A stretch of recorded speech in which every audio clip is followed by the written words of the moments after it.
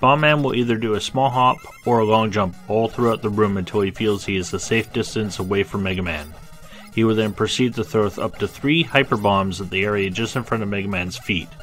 Simply jumping straight up as they land, or hopping backwards from the blasts are both advised.